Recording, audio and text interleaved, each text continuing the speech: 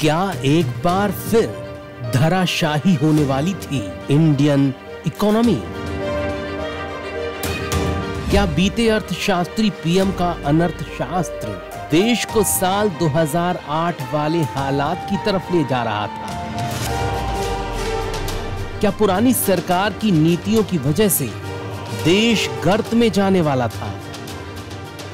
ये है देश के जाने माने अर्थशास्त्री अनिल बोकिल अनिल बोकिल का दावा है कि 8 नवंबर 2016 से पहले देश में भारी कैश बबल था, जिसकी वजह से 2008 के अमेरिका की तरह भारत मंदी की बड़ी गिरफ्त में आने वाला था। तो सवाल यह है कि आखिर कैसे हमारी अर्थव्यवस्था बच गई?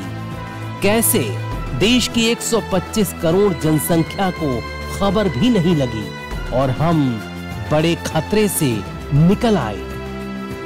तो जवाब भी अनिल बोकिल ने ही दिया है। जवाब है डीमोनेटाइजेशन यानी नोटबंदी। फिर सवाल कि कैसे? तो इसके लिए चलिए पहले कैश बबल को सीधी भाषा में समझते हैं। बीती सरकारों की तुष्टिकरण की नीति की वजह से देश में टैक्स कलेक्शन काफ़ी कम था।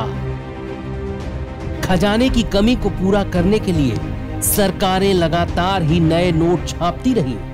इन नए नोटों की वजह से देश में कैश का अंबार लग गया, यानी कैश बबल की स्थिति पैदा हो गई। ज़्यादातर लेन देन कैश में ही होते रहे। कैश लेन देन की वजह से नकली करेंसी भी लगातार बढ़ती गई और भारतीय रुपया बर्बाद होता रहा।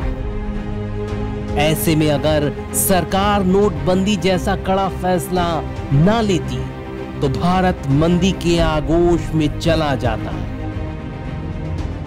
यानी एक अर्थशास्त्री पीएम ने देश की अर्थव्यवस्था को जो मर्ज दिया, उसका इलाज एक चाय बेचने वाले पीएम ने कर दिया।